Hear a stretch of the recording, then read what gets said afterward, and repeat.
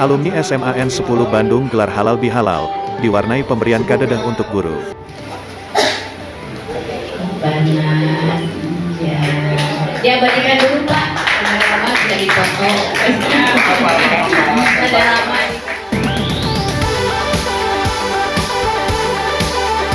Assalamualaikum warahmatullahi wabarakatuh. Wajah Balad, jumpa lagi dengan saya Den Jaya di channel kesayangan Anda, Imbo Gurinyak.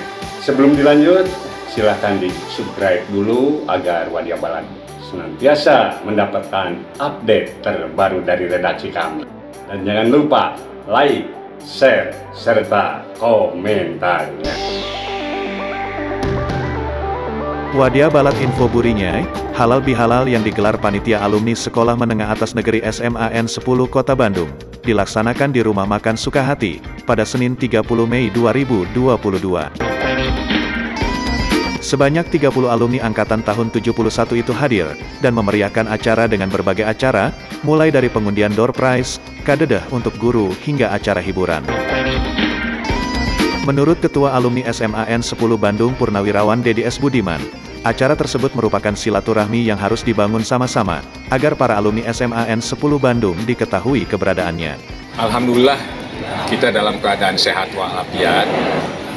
Saya sangat bersyukur bisa ketemu ketemu teman-teman ya alumni SMA 10 tahun 71. Kira-kira umur teman-teman itu ada yang 70, ada yang 69, 69 ke atas lah kira-kira.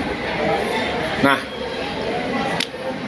setelah umur seperti itu, kita ini harus memprioritaskan kehidupan itu untuk kehidupan di masa depan, yaitu di alam sana lah, ya. bukan di alam ini. Gitu.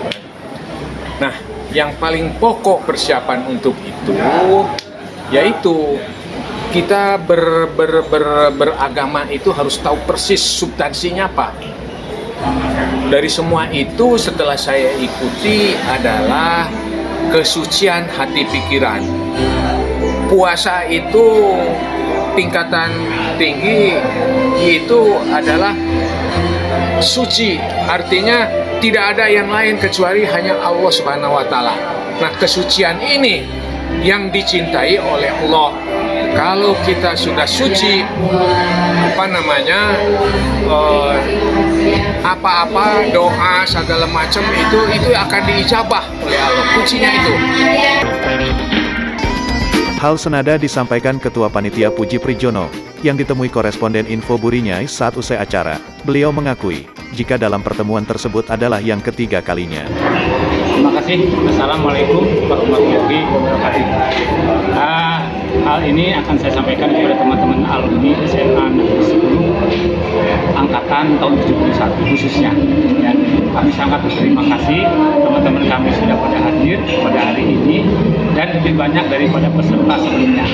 Adapun perkembangan-perkembangannya yaitu pada tanggal 22 Mei tahun 2021 itu pertemuan yang pertama hanya dihadiri oleh 16 orang hanya sifatnya makan-makan saja.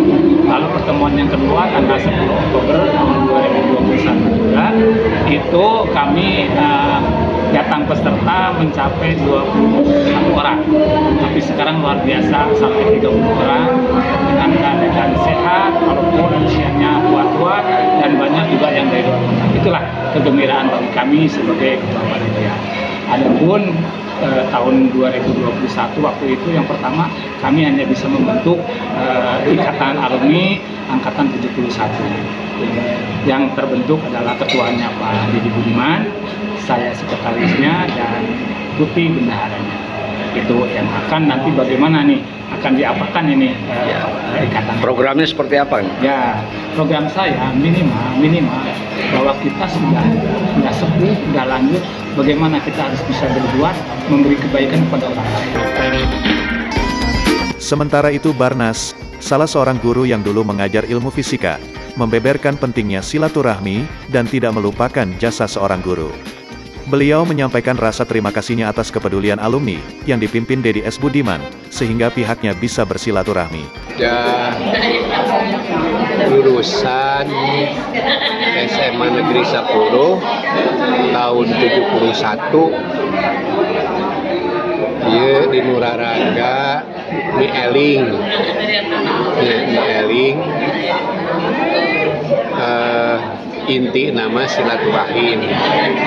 Silaturahim sanaos teu seueur anu sumping bisa ukur 30 jalmian alhamdulillah saya pisan. Saya pisan eh, rasa persaudaraannya cukup tinggi rasa kebersamaannya cukup tinggi dan eh, niatna mensukseskan mudah-mudahan wae di Nuraraga iya ulah bikin Kak monoken tali silaturahim. Dina hiji waktos kurang ngempeli seperti Iye anu langkung meriah. Anu langsung seger pesertana oke langkung meriah. Nah, Bapak selaku Bapak pembina di dia merenya ngaros gembira pisan.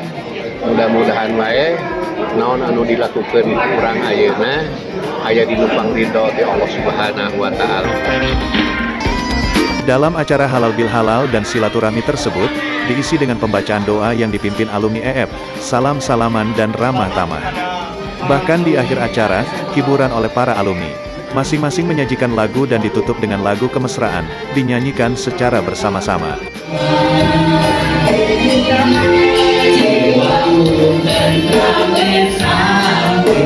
Dari kawasan Langit Cipacing, liputan khusus API Igun Info Burinyai, yang terpercaya dan mendunia, melaporkan. Alumni SMA Negeri 10 Bandung tahun 71. Yeah!